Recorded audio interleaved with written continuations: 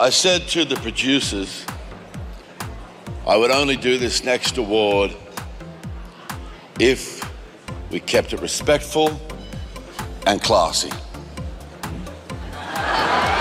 Focusing on the achievements of the individual that we're honoring. You know, at the beginning of his career, Chris Hemsworth couldn't even afford a shirt.